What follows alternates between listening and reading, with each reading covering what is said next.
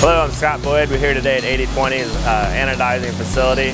This is where we anodize all of our pieces and parts that we produce um, to provide that cosmetic and abrasion resistance that, that, we love on our product.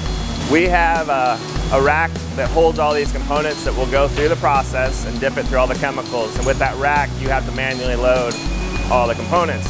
We found the opportunity to automate that. Um, and with using 8020's product, and integrating that with other components with linear slides, pneumatics, solenoids, we were able to come up with what we needed. Um, there were other turnkey solutions out there, but we ended up with exactly what worked for us because we designed it. So that was the opportunity to, to, to build that custom solution. With the opportunity to automate this process, we were able to save labor and increase throughput and accuracy because of it.